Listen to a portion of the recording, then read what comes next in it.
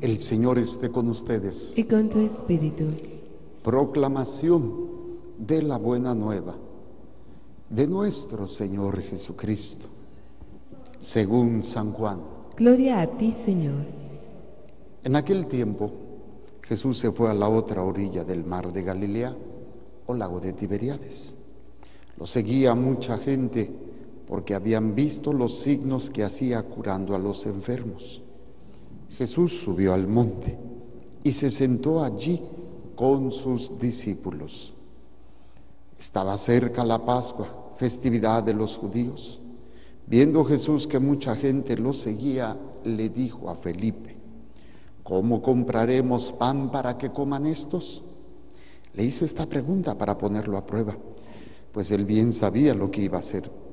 Felipe le respondió, ni doscientos denarios de pan bastarían para que a cada uno le toque un pedazo de pan. Otro de sus discípulos, Andrés, el hermano de Simón Pedro, le dijo, aquí hay un muchacho que trae cinco panes de cebada y dos pescados. Pero, ¿qué es eso para tanta gente? Jesús le respondió, díganle a la gente que se siente. En aquel lugar había mucha hierba. Todos pues se sentaron ahí y tan solo los hombres eran unos cinco mil. Enseguida tomó Jesús los panes y después de dar gracias a Dios se los fue repartiendo a los que se habían sentado a comer. Igualmente les fue dando los pescados, todo lo que quisieron. Después de todos, de que todos se saciaron, dijo a sus discípulos, recojan los pedazos sobrantes para que no se desperdicien. Los recogieron y con los pedazos que sobraron de los cinco panes llenaron doce canastos. Entonces la gente al ver el signo que Jesús había hecho decía, este en verdad, este, este es en verdad el profeta que habría de venir al mundo. Pero Jesús, sabiendo que iban a llevárselo para proclamarlo rey, se retiró de nuevo a la montaña el sol. Palabra del Señor. Gloria a ti, Señor Jesús. Por la lectura del Santo Evangelio, sean perdonados nuestros pecados. Amén. Tomen asiento. Hemos meditado dos de varios signos de resurrección. El primero que meditamos, y para mí uno de los más importantes, es la misericordia. ¿Cómo saber que estoy viviendo la resurrección? Porque tengo misericordia. No soy juez ni soy verdugo. Porque la miseria del otro toca mi corazón. Y lo que encuentra mi corazón, lo que encuentran en mi corazón por las miserias del otro, es lo que yo he encontrado en el corazón de Dios. O sea, me lleno de lo que mi miseria toca el corazón de Dios. Y me lleno de eso para que cuando la miseria del otro toque mi corazón, yo pueda dar lo que recibí de Dios. Eso es un signo de resurrección. Se hablaba de prodigios que hacían los apóstoles, milagros, sanación de enfermos, resucitar muertos. ¡Wow! Eso no es lo espectacular. Eso es temporal. Pero la misericordia, eso sí es un signo hermoso. Otro signo que habíamos meditado en el transcurso de las, de las prédicas de la semana es el signo de la fuerza, del valor, del coraje que nos da la, resurrección para enfrentar todo aquello que antes nos daba miedo. Y no me refiero a enfrentar a la suegra, no, me refiero al valor de, de, de, de obedecer. No me, le, no me le mueva, por favor, ya me le bajó demasiado. Sí, ahí un poquito, no, ahora menos. Ya estaba bien, monjita. Bueno, vamos a ver. Es que ya me, lo moví, precisamente por eso le estaba a ver si puedes bajar negrito a acomodar el, el, audio, porque no sé si me lo tienen muy abajo allá o muy arriba y aquí se satura mucho con las bocinas. Bueno, ya hasta se me olvidó en qué estaba. Es que me lo movió exactamente en el momento de la prédica. Si estábamos en los signos de la resurrección, hablamos de el, la misericordia y el otro es el valor, porque los discípulos, Pedro y los apóstoles, eran cobardes. Acuérdense, ¿cuál eran? A pesar de que se había dado la resurrección, estaban encerrados por miedo a los judíos. Estaban encerrados. Y llega un momento en donde ya no más. A tal grado que los mandan a encerrar y cállense, cállense, y ya no más. Y ellos dicen, espérense, juzguen ustedes a quién debo de hacerle caso. A Dios o a los hombres. Esa fuerza que van a tener. Ese es el segundo signo, por decir, de la resurrección, en donde ya no me preocupa, ya no me afecta o no me interesa quedar bien con los hombres, y donde antes yo no era capaz, ahora lo que me interesa es quedar bien con Dios. Tercer signo nos lo presenta hoy la palabra de Dios. Tercer signo de la resurrección. ¿Cuál es? Vamos a empezar con un discernimiento hermoso que hace un hombre, Gamaliel. Gamaliel hace un discernimiento que va a ser pauta para que meditemos el tercer signo. ¿Cuál es este discernimiento? Lo que hago tiene valor eterno o temporal. Así de fácil. El discernimiento que hace este hombre nos da la pauta para poder descubrir si yo estoy ya viviendo los signos de la resurrección o me estoy haciendo tarugo, viviendo mi catolicismo bien tranquilo. Vamos a ver, ¿qué es lo que sucede? Obviamente siguen los, los judíos, digo, los apóstoles están presos, les han ordenado callarse. Oíamos días anteriores que los metieron a la cárcel, salieron en la noche, un ángel los dejó salir y en lugar de salir corriendo, lo que van a hacer es volver a predicar, volver a salir a esa acción, ir al templo y estar hablando. Van, los buscan en la mañana, ya no están, no, pues que los que los tenían presos están otra vez predicando, tráiganselos. Fueron los soldados, se los trajeron de buena manera porque tenían miedo a la gente. Y les volvieron a decir, hey, ¿qué están haciendo? ¿Por qué lo hacen? Entonces lo sacan para deliberar qué se está haciendo. Y Gamaliel, uno de los meros, meros jefes, fariseos, saduceos, no sé qué sería, no sé, me acuerdo qué dice, es doctor, perdón, doctor de la ley. Sacan a los apóstoles y él les empieza a decir, tengan mucho cuidado, ¿eh? Porque, y hace un discernimiento hermosísimo. Ha habido otros hombres que han querido hacer revueltas y menciona dos de ellos, Judas, ¿sí? Teudas y Judas, dos hombres que tenían sus seguidores y hacían algo, entre comillas, bueno liberar al pueblo judío de la opresión. Y estaban levantándose en armas y hicieron, y, ya tenían muchos seguidores. Y resulta ser que los mataron. ¿Dónde quedaron sus seguidores? Desaparecieron. Y él les dice, hey, es, bueno, no lo dice, pero lo da a entender. Este hombre está muerto y están sus seguidores. Si es obra del hombre, va a desaparecer, no se angustien. Pero si es obra de Dios, no vaya a ser que ustedes se estén poniendo en contra de Dios. Ese es el discernimiento que para mí es un signo hermosísimo, que nos va a ayudar a nosotros a discernir si estoy viviendo la resurrección o estoy pasando mis vacaciones, pero no estoy viviendo. No, la resurrección no ha incidido en mi vida en mi forma de vivir, en mi forma de pensar, porque lo que hago no lo doy en función de la trascendencia, no le doy la importancia de hacerlo trascendente. Pero ¿cómo lo puedo hacer, Padrecito, si yo no predico, si yo no soy sacerdote, no soy monjita? Tengo que lidiar con mi marido, tengo que lidiar con mis hijos, tengo que lidiar con mi enfermedad. Ah, ese es lo emocionante. Hacer de lo simple o de lo sencillo trascendente. Si tú lo haces a tu nombre, no sirve.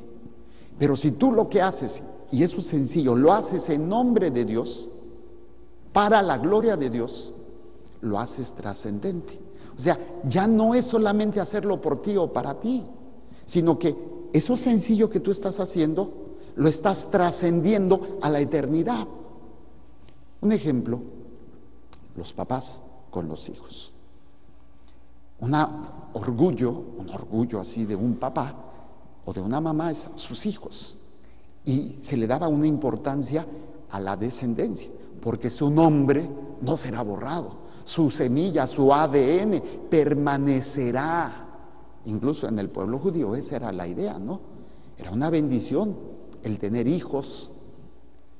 Pero aquí lo interesante es cuántos papás no quisieran que sus hijos siguieran sus pasos. Y es natural, ¿no? El papá médico, que alguno de sus hijos fuese médico. El papá que tiene un negocio y que quisiera que sus hijos, cuando ellos siguieran el negocio. Así como que en esa, eh, en esa posteridad de dejar algo. Y está bien. Pero el problema es que eso es temporal. No es lo mismo hacerlo eso, pero con la trascendencia de ofrecido a Dios. Cuando tú te mueras, porque te vas a morir, tus hijos estarán trabajando en lo temporal o en lo eterno, en la trascendencia de la vida eterna o en lo temporal de esto, de aquello, de la preocupación, de el trabajo, que no es que sea malo, o sea, no se trata de aislarnos de la vida cotidiana, porque no podemos, somos seres humanos, aquí vivimos, tenemos que comer, tenemos que trabajar, tenemos que partirnos el alma. Pero no es lo mismo hacerlo en nombre de Dios, por Dios, que hacerlo a mi nombre. No es lo mismo poner un granito de arena en la obra de Dios que poner un granito de arena en mi proyecto, en lo que yo hago. Esa es la gran diferencia entre uno que está viviendo la resurrección y uno que todavía está diciendo, bueno, hay cosas que tú dirías, pues no tiene caso que haga esto porque ¿en qué va a servir el que yo tenga tanto o el que para la obra de Dios? Ay, no. Entonces, cuando uno empieza a meditar si lo que estoy haciendo tiene ese valor o puede ser utilizado en el proyecto de la eternidad, en el proyecto del reino de Dios. Y si no, pues dices, no, pues ni al caso esto. Entonces se concentra uno en las cosas cotidianas, a veces no extraordinarias, pero sí cotidianas, pero que podemos ofrecer, que podemos entregar. Ahora, ¿cómo se da esto? Sí, sí, sí ese sería un, un signo importante, que todo lo que hago, por simple que sea, tiene o le doy la importancia a la eternidad. O sea, se lo ofrezco a Dios para la eternidad. El lavar, el cocinar, no es lo mismo hacerlo que hacerlo en ese sentido, en ese ofrecimiento. Empiezo a entender que mis acciones aquí en la tierra pueden tener un valor eterno. Esa es la gran diferencia. Ese es un signo de una persona que ha vivido o está viviendo la resurrección. Si no, pues seguimos solamente en lo temporal. Sí, pues creemos en Dios, sí, pues sabemos que hay vida después de la muerte, sabemos que está el cielo, pero no, concéntrate en lo, en lo de ahorita, esto es lo importante. Y ahí es donde nos perdemos. Ahora, algo más concreto, el Evangelio. Es, es interesante. El Evangelio nos presenta lo que se conoce como la multiplicación de los panes y de los peces, de los pescados. Vamos a ver la realidad. Jesús ve que hay mucha gente que lo está siguiendo. Y se da cuenta que pues mucha gente para alimentar. Dice que pregunta a alguno de sus discípulos, a Felipe en concreto, ¿cómo les vamos a dar de comer a todos estos? El planteamiento es sencillo. Dice la palabra de Dios que él ya sabía lo que iba a hacer. Pero necesitaba algo muy interesante, lo temporal, para hacerlo trascendental. Entonces, ¿cómo le voy a hacer? ¿Cómo le vamos a hacer? Le pregunta a uno como diciendo, te pregunto a ti, Juana, para que me conteste Juana. ¿Sí? Hace un planteamiento, ¿cómo le vamos a hacer? Y dice Andrés, el hermano de Pedro, ¿o quién es? Sí, es Andrés, Andrés, el hermano de Simón Pedro le dijo, aquí hay un muchacho que tiene dos panes y cinco pan, dos, dos pescados y cinco panes de cebada. Pero ¿qué es esto? Esa es la trascendencia. Hacer de lo ordinario algo extraordinario. Yo te lo presento. Yo te lo ofrezco. No tengo tanto, no tengo esa capacidad, no tengo ese amor, no, pero yo te lo ofrezco. Y el Señor lo multiplica. El Señor lo va a hacer que perdure, que sea suficiente para que tú puedas hacer lo que tienes que hacer. Pero estás dando tu parte humana, temporal, limitada, carente. ¿Qué puedo hacer ante esta realidad de mi matrimonio?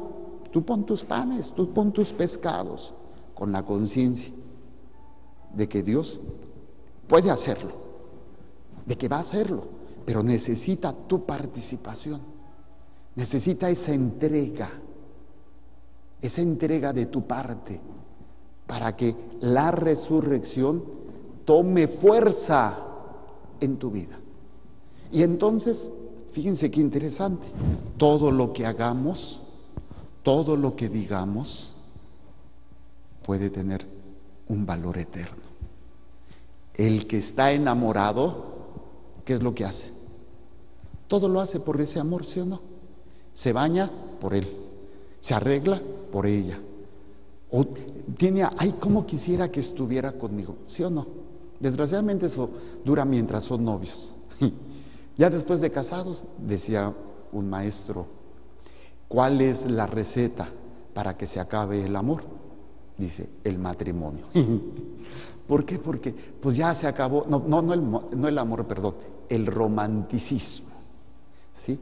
Pues ya qué, ya para que la conquisto, pues si ya la tengo. ¿Sí? Es curioso, mientras son novios, sacan lo mejor y esconden lo peor. Y ya que se casaron, sacan lo peor y esconden lo mejor. ¿Quién los entiende? Pero esa es una realidad.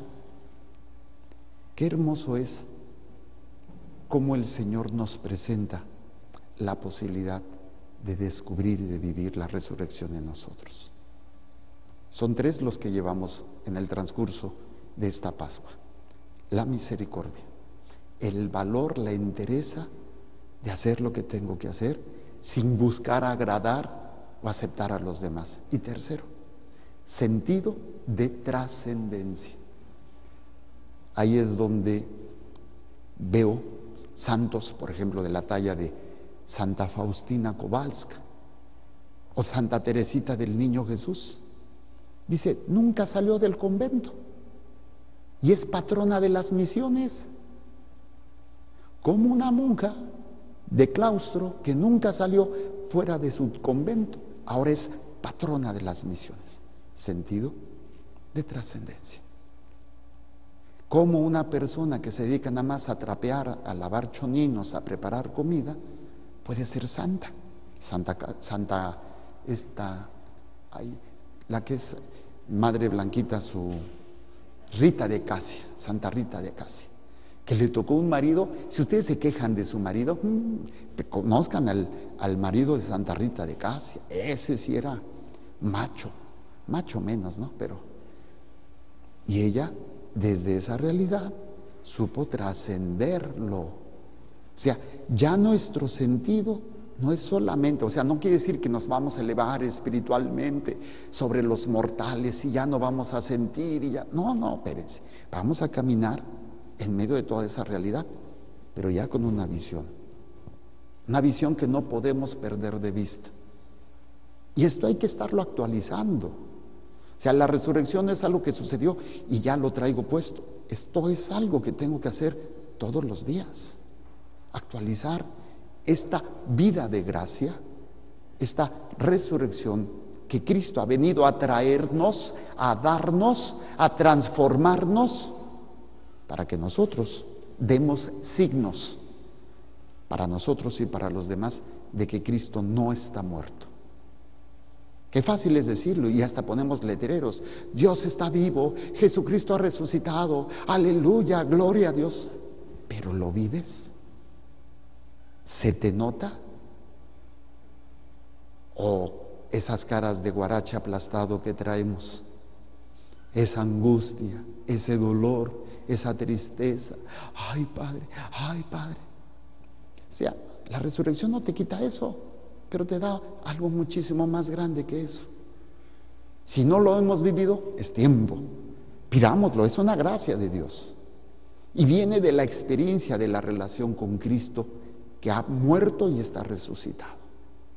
Esto no se puede adquirir solamente por un conocimiento intelectual. Es una relación, es una experiencia viva, transformante, maravillosa, que te hace dar síntomas.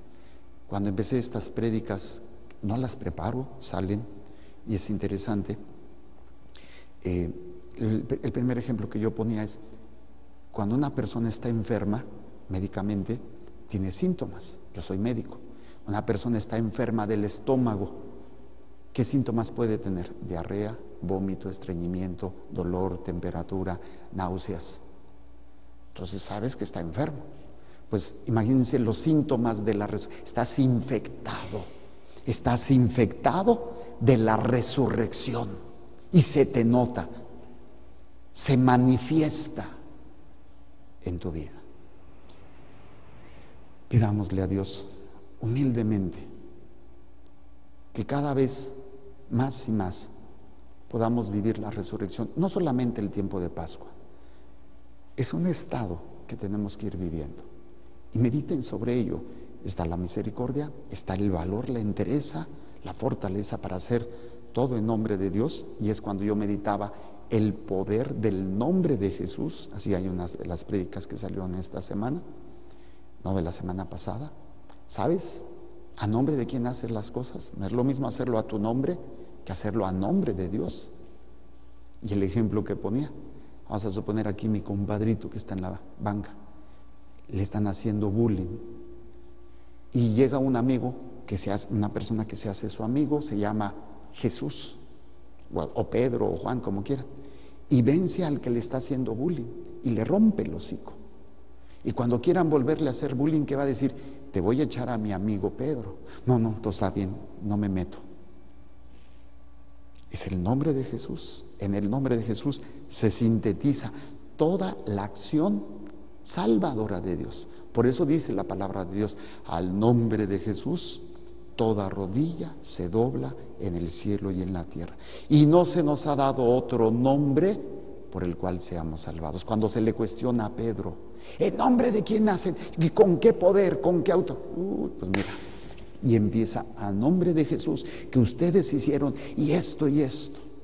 Hay signos hermosos de resurrección.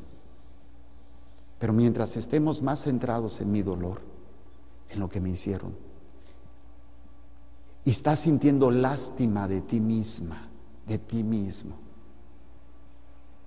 y no aceptas la resurrección desde una muerte que tú tienes que vivir. No me refiero solamente a la muerte al final de tu vida, sino una muerte a veces a lo que quiero, a lo que deseo, para que Cristo empiece a vivir en mí y hacer su voluntad. A veces no nos damos cuenta que si estamos en esa situación es porque nosotros nos hemos metido, porque no hemos tomado decisiones en la trascendencia, hemos tomado decisiones en el temporalismo, en el ahorita y ahora, sin ver esto me acerca o me aleja a la trascendencia, a la eternidad. No, es solamente el ahorita. Es difícil, ¿eh? Esto hay que irlo ejercitando, hay que irlo desarrollando. Pero si no tengo conciencia de ello, pues menos lo voy a hacer. Pues que esto sea el tercer síntoma de resurrección. Ojalá y nos infectemos con la resurrección de Cristo. Presento el pan y el vino y las intenciones que hay en el corazón de cada uno de ustedes.